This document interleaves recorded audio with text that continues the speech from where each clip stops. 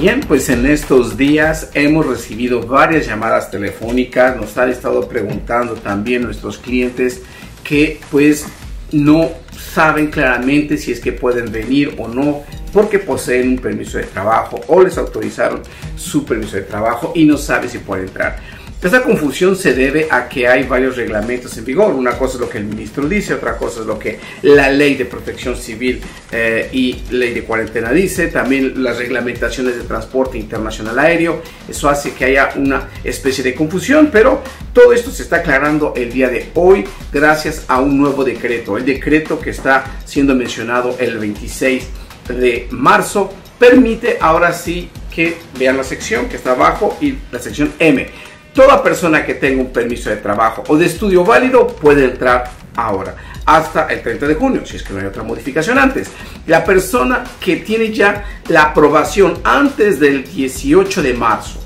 que se fue aprobada su visa de estudio o de trabajo, puede también entrar, así como la de residencia. Así es que mismo si usted no ha hecho el landing, es decir, el aterrizaje en Canadá, donde se le emite el permiso, donde se le emite también la visa de, permiso de estudio o la residencia permanente, puede eh, tomar ya el avión y entrar a Canadá si es que lo desea.